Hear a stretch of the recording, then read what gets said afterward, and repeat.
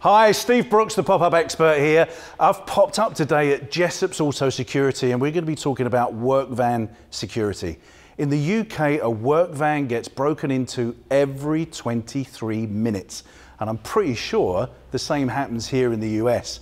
So Jim's company is basically an upfitter. So what that means is that they fit after, after sales equipment, things like auto alarms, LEDs, security locks. And today we're going to be talking about the great product, the Thunderbolt lock. So Jim, thanks for having me along today. Great to meet you. Very nice to meet you. So thanks for coming by. Tell me about this Thunderbolt lock because I understand it's really different from like the slick lock, or, or, you call it, is it a puck lock you guys call this? It's a puck lock. It's right. an external mounted uh, lock assembly uh, that, uh, that uses the factory uh, latch bolts to mount uh, strike plates where the uh, puck lock will slip over and fit onto that, securing the back doors.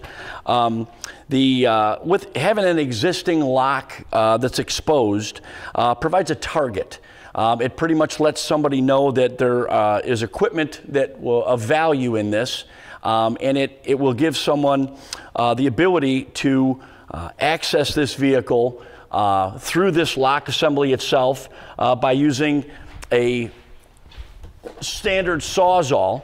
Um, to be able to come back behind this puck lock itself and cut down through that plate will allow this to come right off in your hand. So, okay? so, so basically, a criminal can, can come along. This flags the fact you've got something in the van worth nicking, as we say.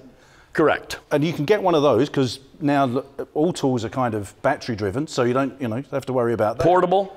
Come along here, and you can just go cut that off. For the most part, once you punch out the lock cylinder okay. itself, this is going to be exposed. You're in, and you have access to all the uh, the uh, uh, products on the inside of this van. Show me how how you, how you get in with in with this slick lock because it looks really complicated to me, and and it's going to be like frustrating. If you've got tools in your hand, you just have to put that down. So. What's the process? You will find also um, in the cold weather, the elements will play a part and these locks can freeze. So once removed, the lock assembly itself, you got it in your hand, you'll go to the vehicle and find yourself with somewhere to put this. Most of the time I find people put them down either on the bumper, forget about it, they put it to the inside. Put it in the van and then end up locking it in the van. Yes. Wow. You'll access the tools that you need and then you're, you're, you have an extra step to go to put the lock back on the vehicle, as opposed to the lock assemblies that we use here. The deadbolt pins directly into the mating door. So once activated, this deadbolt runs out about one inch. It's, it's deactivated by the unlock. So every time you lock or unlock the doors of the vehicle, this lock is going to be activated. Uh, when you have the slick lock plates, you notice here how easy this could be cut. Even with the lock in place, you can sneak behind and you find that you'd be able to drop right past here and cut that off. And once that comes off, everything's done. With, with modern day saw blades, that's going to go through that like a knife through butter. 30 seconds or less, you'll have that off and in your hand. And, and with your deadbolt now in action, how does that actually work in terms of being able to get in and out of the van? Once so, the vehicle itself is locked, if they were to get past the, the, uh, the factory lock cylinder, yeah. if we were to unlock this. I can't get in there, guys. That's locked. You have, your, you have the, the deadbolt pins against the, um, uh, the mating surface on the inside, and you only have, again, about 3 16ths of an inch that that door will open. If you find that the door is, is, uh, is, is active, you took the pressure off it to be able to get back in, and you access the vehicle. But there's so much ease with that, isn't there? That you haven't got that frustration. And actually, we left the puck lock in there. That's where it belongs. If you find to be able to walk away from this vehicle and know that it's secure with the push of a button, uh, is much easier and much less frustrating than you'd have with that puck lock itself. So I think that uh, uh, the, the target of having that lock on the vehicle itself, again, gives someone um, a, a direction on what they can do to get in there. Or again, being this with our lock being invisible inside the door itself, they would have no way to know where to go to try to get beyond that. That's brilliant. That's brilliant. The thing I always think about though, Jim, is like if you're a if you're a contractor, you get your van broken into, you lose a product or a tool, there's a trickle down effect, right, with all the other contractors. So you might have an unhappy customer, some guy can't complete a job. So van security is like paramount for, for, for, for workers. Absolutely. I've had many customers that have come in uh, that have uh, uh, in the past been broken into, uh, lost all their tools, all the equipment that they'd have for the job itself, product, um, and it seems more often than not we're having people that will come in after the fact. They've already been they've already been broken into, and uh, now they're looking to secure for the future. But all that you have to go through to reinvest into the tools, the product itself, could put you out of work uh, for uh, a, a, longer period of time, days, weeks, maybe, to try to get uh, uh to try to get the inventory that you had sure. in previously. Sure. Plus, police reports, uh, insurance companies, deductibles. That along the way, the investment that you make in advance. Uh, would, would, would, surely outweigh um, anything that uh, you would want to deal with in the, in the future. Of that. Couldn't agree more. Chances are you're watching this video because your work van got broken into. That's the name you want to remember, Thunderbolt. So, and, and what annoys me is you've got guys like contractors out day after day after day, right, working really, really hard, and some schmuck wants to come along and nick their stuff. And, and just like undo They want to take what you work for. I yeah. know, it's just yep. so frustrating. I've so been in this business over 30 years, and uh, I've, uh, I've seen it way too often. Uh, and um, uh, with a product like this, it's going to ensure that you're on the job the next day. And uh, uh, I think there's, a, there's, there's surely a value to it. All the customers that have had this installed uh, um, have been very satisfied with the. Uh, there's peace of mind comes with this also. Sure. Uh, knowing that your vehicle is secured. Um, I think that there's uh, there's definitely a value to that. Sure, sure. Now the, the Thunderbolt is a little bit more expensive than the the puck lock. We know that, but you've got peace of mind. Put a price got, on that. Yeah, less frustration. Yep. Right. And and you know when you finish work at the end of the day and you want to go down the pub, as we say, and have a cold beer with your mates, you know all your tools are secure because you got a Thunderbolt lock on your van. What could be better than that? I would say that uh, you know to uh, again to, to to to put a value on the investment of securing your vehicle. Um, the the installation, the way we've designed this product itself, uh, in its universal design um, is relatively simplified. You know, once you access the inside door panel itself, you find the location to mount the main lock module itself. Um, uh, is mounted by two brackets that do come with the kit, and we've chosen one of several different options uh, that you could mount this. Uh, one key factor is that the there's plenty of length in both of the cables for the override and for the deadbolt. You just want to make sure that those are both relaxed. You don't have any tension on those. Um, two wire connection through the factory lock motor. They run right up through the boot. Um, and we have an extended adjustment for uh, door jambs that would, uh, would have a larger gap. Uh, we could actually adjust this back uh, to a quarter inch if necessary for fitting the head tighter um, gap in there.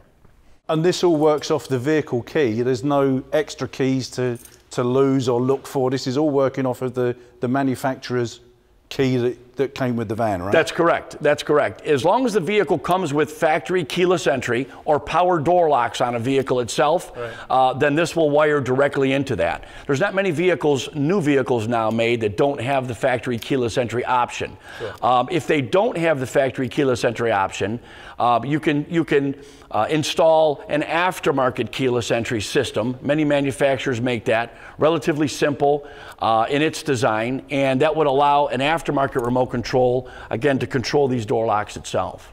Now, I know you're, you're in this industry, Jim, and you're going to, you know, you fit these all day long, but if you're a contractor and you can't get into a specialist, is that something that they can fit themselves? Is it, Is it simple to do, or, or would you recommend always come and see an auto security specialist to get it done? It would surely depend on the capabilities of the individual itself. Okay. Uh, they're, they're, uh, I think if somebody um, is, is handy, uh, it's relatively straightforward. So it just depends on the individual and yeah. and uh, and how uh, qualified they might be to do it. Um, but uh, I think that uh, uh, once somebody looks at the layout itself, some of the videos that we have available to show the installation, I think they'll uh, they'll find that it's pretty straightforward. So these not only go on the back doors like this, you can put these on sliding doors as well. Is that right? That's correct. Also, the swing side door or the slide side door, it will apply uh, to either of those applications. Okay. You got yep. one in this van, haven't you? I do. Let's yes. go and take a look. Yeah. Uh, the side door application. First off, again, the the the, the plate. Um, you can see how accessible this is going to be with that sawzall. Just dropping that back over here to cut that off. Yeah. You've, you've defeated any security that they're going to have there. It'll slow somebody down, uh, but but it's easily defeated. As you can see, we have this assembly is mounted inside the door behind this panel itself. Uh, we have an override cable. All of our systems have an override cable um, in case someone is was to be locked inside uh, the vehicle without a remote control. They'd have the ability to uh, override and, and, uh, and exit. Right. Um, we have this uh, override cable. Normally what we'll do is we'll have an override cable that mounts uh, near the unlock rod itself. But in this case, we wanted to, you have access. If somebody was to be in front, they'd be able to reach in and access the, uh, the override. So we've located lower on the door. Probably something that's not going to be used often, uh, but we would definitely want to have that available. So um, we've located it down on the lower portion of the door. So, so basically, if somebody was to break that window, they, they can't get round and then open the side door to get in. That's another deterrent. That's correct. That's correct. If they can reach through and they can unlock the actual Brilliant. door lock, they're still going to be uh, uh, have to get around the deadbolt, and to access that down below is going to be nearly impossible. Got it. Got it. Um, as you can see, this is this is the uh, the end view. Once this is active, um, the cable that runs up and mounts this itself, it's fully adjustable. Uh, the the the, the deadbolt itself. So if you have a door jamb uh, that has more of a gap in it, our deadbolt assembly is adjustable uh, for a tight gap, or uh, I should say a tight uh, fit between the doors. Um, you can see on the mating door here where that deadbolt slides into. So once these doors close, that pin's going to drive right into that and inhibit these doors from opening. So it's absolutely secure. That's that's incredible. I mean, that's again, it, it's it's deterring people. It's keeping out keeping out thieves. It's Simplicity. easy to use. Very so, simple. Uh, tell me about the warranty with this, Jim, because I know you've got a, an exceptional warranty. We offer a lifetime guarantee on this product. Um, the, uh, the actuator, which is the drive motor on the inside, uh, we stand behind all the components uh, of this product itself. Okay. Lifetime. Okay, and, and that's a, like you replace it, if it goes wrong, send it back, you, you'll replace it we want everyone to be completely satisfied, um, which I'm sure they will be. If there's ever a question, a problem, uh, we're going to be there to address that for anybody that needs our help. See, guys, that's peace of mind again, isn't it? Not only is it is it looking after the security of your van, if it goes wrong, these guys are going to fix it for you as well. That's just incredible. Now, you can buy this product at www.thunderboltlocks.com, right? That's correct. So that's it. Listen, probably why you've been watching this your van's been broken into, and that's why we're engaging with you today. So go to www.thunderboltlocks.com, right, and you can get this product. Jim, it's been an absolute pleasure meeting you today. Thank you so much. I enjoyed your this time. Is, listen, if you've got a van, this is what you need, right? Thunderboltlocks.com. Go there. I'm Steve Brooks. I'm the pop-up expert. I'll talk to you again soon.